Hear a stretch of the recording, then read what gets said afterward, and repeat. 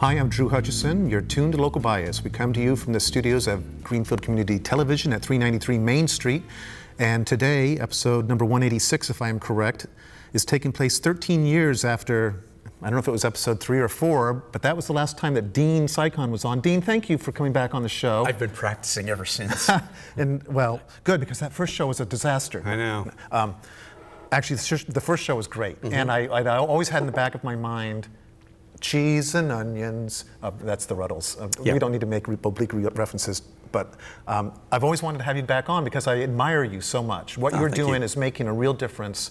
Um, you were the first person to basically say that people who grow coffee can make a living growing coffee. And you've put your money where your mouth is, and it's actually worked. The whole fair trade, you kind of were an originator of that. Yeah. Of that, and now it's a global phenomenon. So thank you for that. My pleasure. It's been a life of uh, a life's work. Well, you're continuing your life's work by coming back on here now and explaining to our lovely viewers about what's going on with coffee and as it relates to immigrations. And this is something that you mentioned to me at the Green River Festival, and I had no idea. So, what's going on with immigration in, as in regards to the coffee growers? Well, it's interesting. Um, at the turn of the millennium was the last time we had uh, a migration crisis of this magnitude, meaning so many people coming up against the southern border. In fact, around the millennium, there were more people than there are today. Right. Okay? And what was happening then was that the um, agricultural prices around the world had crashed, and coffee, being a large agricultural crop in Latin America, meant that people couldn't make a living growing coffee, and so they were thrown off their lands by landlords, or they abandoned their land because they couldn't feed their family and headed north. So that happened around the year 99, 2000, and it was a big deal. And I was uh, working a lot in Nicaragua at the time, particularly, and met a lot of people who were headed north and heard stories about it and heard stories about the death train, which is this large, yes. right, the La Bestia, the, uh, the beast, which travels from the Guatemalan Mexican border all the way to the United States, a 16 hour train ride. People fall off it, people get raped, people get robbed. It's just a horrendous thing. Um, but there it is, and we discovered that it was owned by a Connecticut company.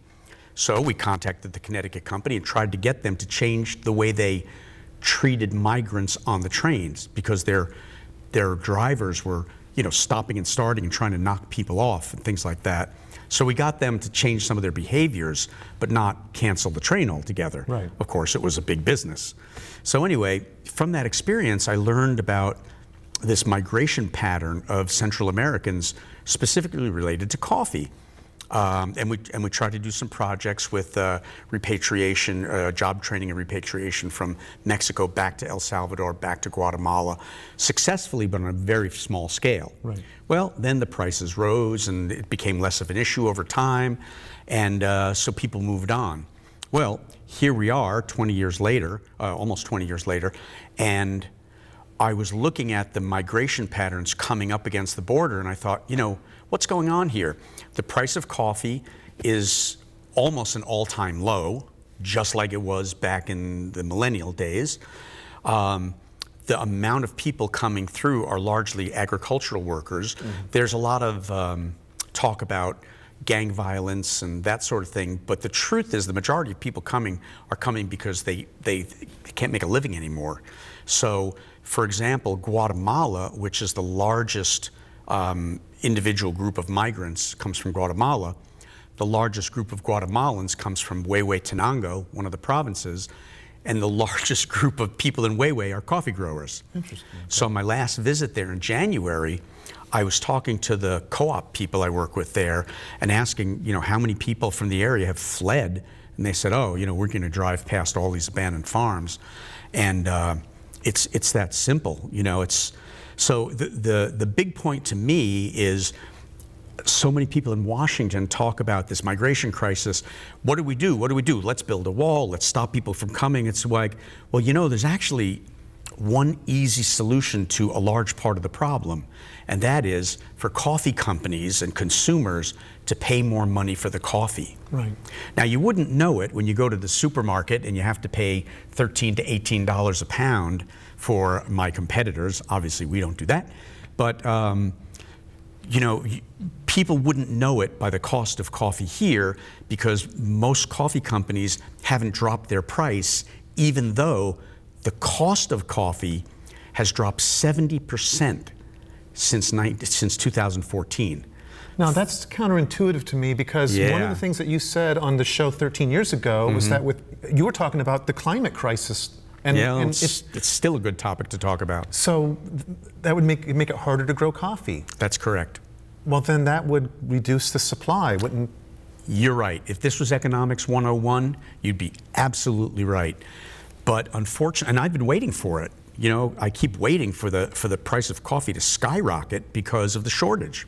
So a number of years ago, about uh, seven years ago, there was a crisis, a, a, secondary crisis, because of rust, which is la roya, which is a uh, fungus, a fungus that grows that's always in the soil, right. but it's usually kept in check. So what happened because of climate change is there was an outburst of la roya throughout Central America and in, uh, in places like Colombia, 30% of the national crop was destroyed. So you would think, wow, 30% of the crop is gone, but the same amount of people want the coffee. Therefore, supply and demand, the price should skyrocket, and it never did. Why? Why is that? Because price is not determined by the Adam Smithian okay. invisible hand. Price in coffee is not determined by a willing buyer and a willing seller, except in the case of fair trade, where right. we actually make those uh, transactions. But price in coffee is determined um, in New York in a ring of traders. Uh, I call them the lords of the ring. It's, it's uh, traders just like a stock market. Okay, commodities. Young men in commodities in tu uh, tunics of different colors representing their house and they go in and bid up and down the price of coffee based on their projection of whether there's going to be a lot of coffee, you know, whether there's going to be a change in the amount of coffee coming in from China, which is going to be a big supplier in the next couple of years. And it's totally divorced from what it takes the coffee farmer to grow and process the coffee and then maybe have a little profit so that he can feed his family. That's not it. It's totally delinked from that. So as long as coffee is delinked from how I would price my product, right. you know, it, it, doesn't really have a cause and effect relationship. There's just too many other things going on because it's become a speculative commodity. When actually you could probably apply that same model to everything. Yeah, absolutely. Yeah. But unfortunately, in coffee, um, people don't know about this. Right. And so for coffee companies, you know, the large companies, I'll, I'll, just name them, Starbucks, Green Mountain, et cetera, they get lauded by the stock market because they're so much more profitable this year. Why are they more profitable this year? Because their cost of goods has gone down 20 to 70 percent. And they're and they're not making a different change in the price. No, they're not dropping so they're the price. Just taking profit. Exactly. Yeah, but well, it's not going back to the farmer. It's only staying in the corporate pockets. So the shareholders are doing well. Yeah, absolutely coffee is a very lucrative business. So what happens for when, the for the retailers? Right. Yeah. But this is not that's not a sustainable model. No, it isn't. But you know, I think the it's a it's a funny thing. I used to buy I buy all my coffee direct now, mm-hmm. but when I was much much smaller and I had to go through a broker, I would say to the broker, "Okay, I want to buy 20 bags of Guatemalan," and he'd say, "Okay, that's going to be a dollar fifty a pound," and I'd say, "But but the price today is $1.40 a pound. And he'd say, yeah, but I have to base it on what it's going to cost me for the next one, the replacement cost. I said, oh, okay. So that means if it's $1.50 today, but you think there's going to be more coffee, you're going to sell it to me for $1.40 because the replacement cost is going to be lower? He said, oh, of course not. I'm going to sell it to you for what I bought it for. And I thought, okay, so, so there's no logic in heads this. he wins, tails he wins. Exactly. So there's no economic logic really in this in this industry. It's based on uh, winner take all, and the winner is the importer, the retailer, you know. And frankly, the amount of money that large companies and even some medium-sized coffee companies are making is, I find it disgusting. So, is there an? Do you see a solution to this? I mean, you're doing what you can by buying direct. Yeah. Well, fair trade, you know, fair trade is, is a good model, but fair trade is a misnomer. Fair trade should be called fairer trade mm-hmm. because it's ultimately still based on the C price, that international price we're right. talking about. So it goes up and down too. Sure. I mean, the, the, the fair trade minimum for organics is $1.91 a pound. And today, the price of coffee on the market is 94 cents. So, needless to say, fair trade offers substantial buffer from the market when the market is down. Right. When the market goes up, if it goes past that $1.91, which it does every couple of years, then fair traders only have to top that by a nickel or a dime. Right. So it's not, it, it, doesn't take the injustice out of the market. It just makes it a kinder, gentler market, you know, mm-hmm. but one that the farmers can live on, even if living doesn't mean getting new clothes, getting new cars, whatever. It means hanging on. Well, the thing is, is what part of what you've done with these um, coffee co-ops is you have actually helped the local economies where the coffee is grown so that other businesses can oh, thrive. Oh, absolutely. And schooling, education can take place. Yeah, see, you, most people who buy fair trade coffee don't even understand what the system is. They think it's just a price. But the, the, the real anchor of fair trade and social justice in coffee is, is the cooperatives. Because we have to remember that the farmers are these marginalized, often indigenous peoples living in these small communities way up in the mountains. They don't have access to roads, they don't have access to processing, they don't have access to credit, they don't have access to information. And they don't even own the and land. often don't own the land, right. yeah. So what, what happens is they need all these intermediaries, maybe five or six of them, before that stuff gets on the boat and comes to America. So they don't see that money. That all goes to the middlemen. So what we've done in the cooperative movement, which is a subset of fair trade, mm-hmm. is, is, is help these these marginalized farmers form cooperatives so that they have buying power, they have information power, they can get credit, and whole um, whole industries of, of justice credit have have evolved. So there's education has evolved, healthcare has evolved, all these benefits of cooperative operation of these small communities have come basically through the fair trade movement and, right. and the cooperative movement. And basically all you're doing is sharing a sliver of the profit that otherwise Absolutely, would yeah. go to people that already have. Right, and that's why I say it's fairer, but you know, so what we do is, you know, I'll, I'll give you an example. So the fair trade minimum for organics is, is $1.91. You can buy organic coffee on the market probably for $1.40 or something. Uh, or you can get the commercial stuff, not organic, but commercial stuff for 96 cents, mm-hmm. which a lot of large companies do. Um, but if you want, if, if you want to make a, di- that's not going to make a difference because I've been involved in coffee now since 1988, and I haven't seen communities turn into, you know, like bedroom communities of Boston. Right. You know, nobody's getting rich growing coffee. A lot of people are getting rich selling coffee. Right. But nobody's getting rich growing coffee.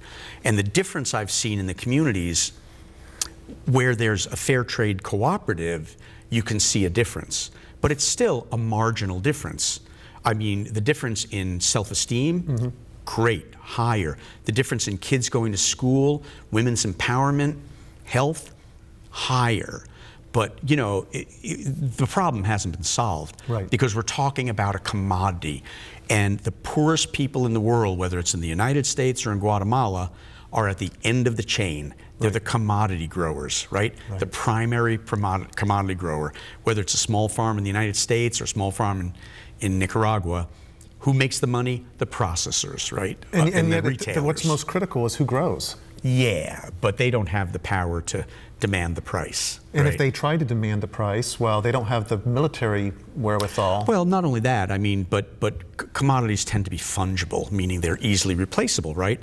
So what what's happened in coffee is you know, some swank coffee company, I could name five or six of them that people think are really cool companies. They buy from this uh, town one year, but then the town struggles the next year because of climate change or something. And rather than committed to helping them see through, they're like, eh, we'll I can go to some other town. Uh-huh. Okay. So there's no commitment. And in fact, in uh, the original fair trade uh, licensing agreements, there used to be a requirement that you make long term relationships with the farmers That's disappeared as fair trade is also starting to become corporatized. Well, actually, that's happened with the organic movement Uh, too. well, a little less so because organics is a legal movement, so you have some real legal things to hold on to. Right. But fair trade is an, is, is an agreement just between people. I agree that if I buy, if I'm a company and I sign a fair trade licensing agreement with Fair Trade USA or whatever, I'm only bound to pay fair trade prices for the coffee I get under that agreement. It doesn't make me buy anything. Right. So Starbucks, Green Mountain, they can sign a fair trade agreement. Then they can put the logo on their website. We're a fair trade certified company. Mm, my mistake. We're a fair trade. We're a company that's authorized to buy fair trade coffee. Doesn't mean they are. It doesn't mean they are. So all these big companies like Starbucks, et cetera, are 3%, 2%, 5% fair trade. And I always say, well, what does that mean? That means 100 farmers are in a room and Starbucks goes, you, you, you, and you. We're going to treat you better. You other 96, out. That's what it is. So fair trade is not a panacea either as a commercial Okay. contracting so, mechanism or as an ethical mechanism. So, what are the solutions? I know you're always looking. Oh yeah. Well, I mean, we're very small. You know, I mean, we do about 600,000 pounds a year, which sounds like a lot, but it's not in Right. the world of coffee. But every cooperative we buy, every every place we buy from, we buy with cooperatives and help them get formed. Every cooperative we buy from, not only do we pay way in excess of fair trade pricing, our prices these days are like 250 a pound, 280, three dollars a pound. And remember, the minimum for organics is 191. Right. So we're paying way more than that. But more importantly, we then have uh, our development relationships. We haven't changed that since day one. In every village we work in, we sit with the farmers and women's groups, civics groups, and we facilitate a discussion about what are the developmental priorities in this village. What are your priorities? Then from those, we choose one or two and we design, we co design with the farmers programs. We don't go to CARE, we don't go to Save the Children, we don't go to USAID and take your tax dollars. Mano a mano, we face to face with the farmers. We design a program that's going to meet that developmental objective. Then we fund it from our sales. So now we're putting in, in, in, in Ethiopia, we helped create, um, we, we created a, um, a cervical cancer detection and treatment program, which has saved thousands of women's lives. And that's not marketing, that's real. Right. And those are the women that grow the coffee. In, in, in Ethiopia, um, cervical cancer is the number one killer of women, period. Here, hardly anybody get, dies from it because it's treatable. But in a place like Ethiopia with, with poor rural medicine, women die from it left and right. Coffee women die from it. So we worked with Grounds for Health, this organization that works in coffee communities, and we introduced them to the co-ops. We helped the co-ops feel comfortable with the organization. We dedicated our entire profit for the year, it was three, four years ago, it's over $100,000. We gave it all to this program to get this thing going because it was more important to save coffee women's lives than it was for us to have an extra $100,000 lying around. Well, and the thing is, you're a private business, Yeah. you- and so you don't have shareholders that are demanding a quarterly profits. No, but my feeling about that is that, you know, um, I think it's very difficult for old businesses to change, old dogs, new tricks. But startup businesses these days, it's part of the DNA. If you say, I'm going to the marketplace as a social entrepreneur, Right. you know, when you raise money, the people who put the money in know that you have a social mission So you have a different bottom line. different bottom line and, and a good bottom line, and people flock to it. There's billions available for, for social entrepreneurship out there, venture capital towards social entrepreneurship. It's not a problem raising the money, the problem's in the mindset. I lecture at business schools around the country and overseas as well. And I'll tell you, for every class on ethics or class on social entrepreneurship, there's 10 faculty saying, that's baloney, it doesn't work. But it does work. teach- I know, but teaching the, it's, an, it's a mindset. The corporatization, the corporate culture that people learn in business school m- m- uh, minimizes social good. Even though a lot of schools say, oh, we've got this great program on social entrepreneurship, they don't. They're just they have a couple of classes, one or two professors, and the rest of the university is telling is saying, pay no attention to those guys. Are you getting interns from these schools? Oh, yeah, though? Yeah. Because so, so in a way, you're seeding other people that trying can to make a difference. Yeah, yeah. Because one person or one company can Yeah. only do so much. Yeah, we have a we have a great internship program. We send uh, college and grad school students all over the world. You know, we, we pay for them. We we embed them in a in a cooperative, and they share their skills, and they obviously learn a lot. And people's lives have been significantly altered by that experience. So let me ask you this about coffee. Are, do you love drinking coffee yourself? Yeah, I like drinking coffee. I drink a cup and a half, two cups a day, but I'm not Voltaire. I don't Right. do 40 cups a day, you know. Of course, back in those days, they didn't grind it. Oh, they didn't? no, back in those days, they put the whole bean in the cup and poured hot water on it. It was more like a tea. Yeah, They didn't so, know. Yeah, so when Voltaire drank his 40 cups a day, that's what he was doing. He'd that's be dead if he did Right, I was going to say that's probably the equivalent of a cup or two drinking Mm-hmm. it that way.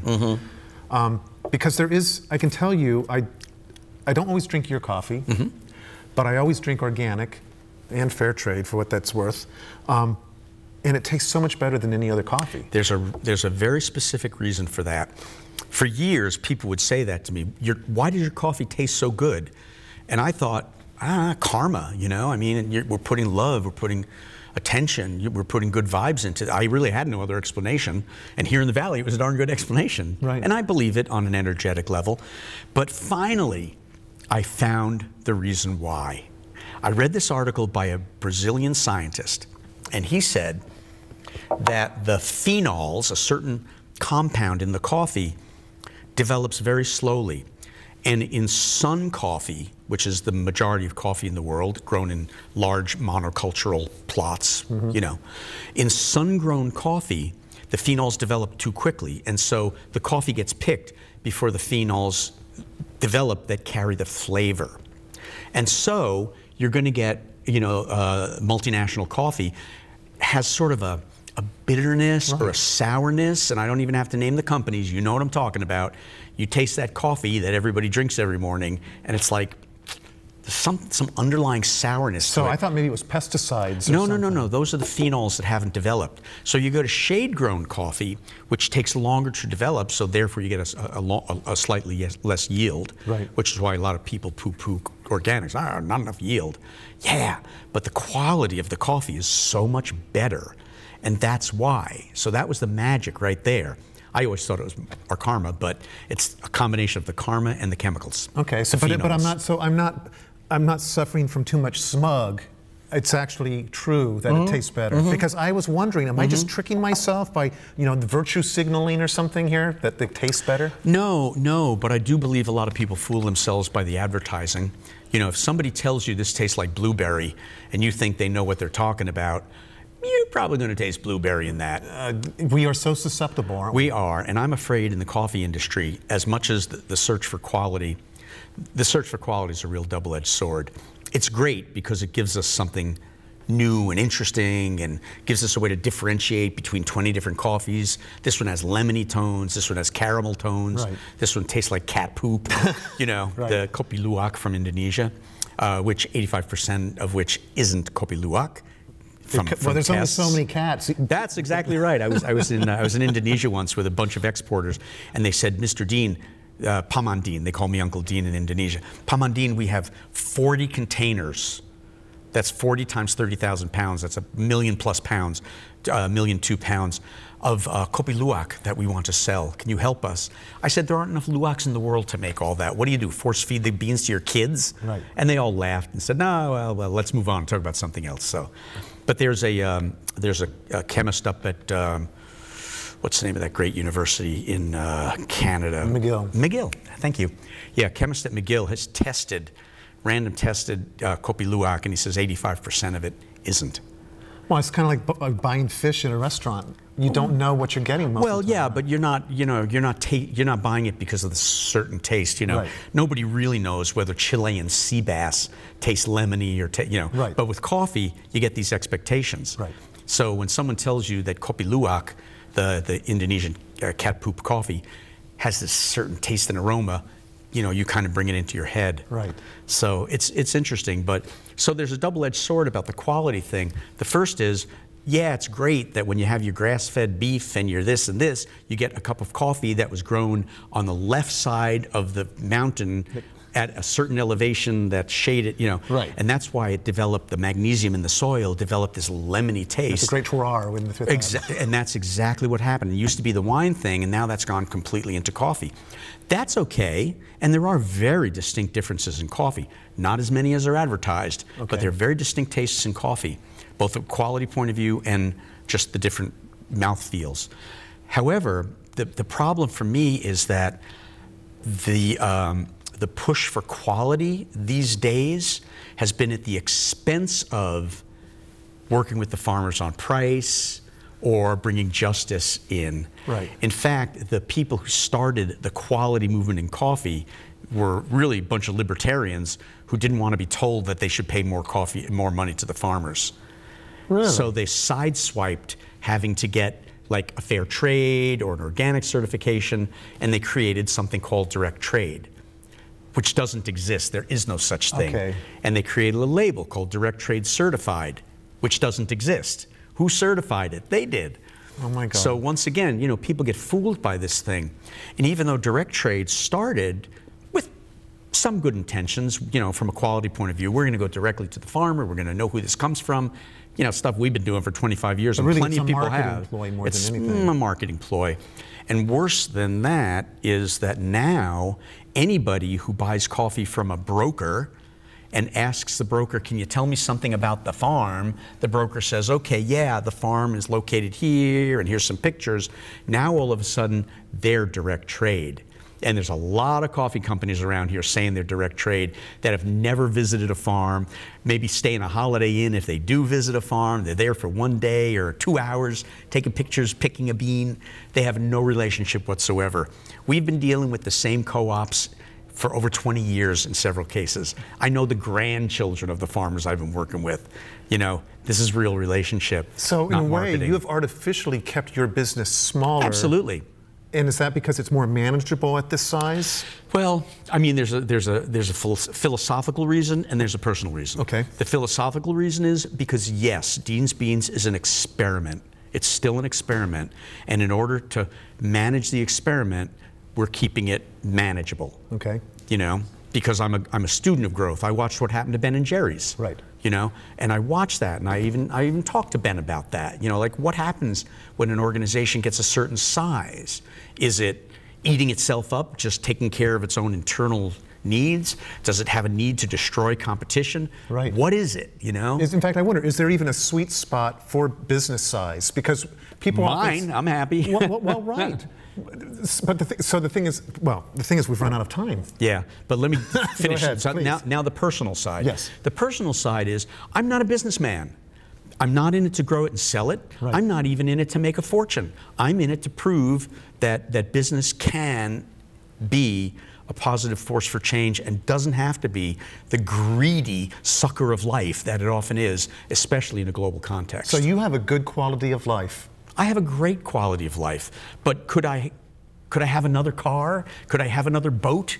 You know, Right. what do you need in life? When I lecture at business schools, they always ask me, "What's your profit margin?" And my answer is always enough, and it blows their minds, but it's enough. You know, Well, we need, and we have to end the show, but we really, as a, as a people, as, as Homo sapiens on this planet, we have to change the paradigm. I completely agree. That's what it's been about for 25, 26 years. Well, thank you for doing the work. And I would love to come out to your business and Please film come. you again Yeah. and talk some, more in depth because I, I gained so much from you, and I think our viewers do. You're an inspiration to us. Well, come talk to the the other 13 people at Dean's Beans. They're ver- all in it. I'll be very happy to do that. So thank you. And Thanks thank you lot. for joining us. I'm Drew Hutchison. This has been Local Bias. Um, take care.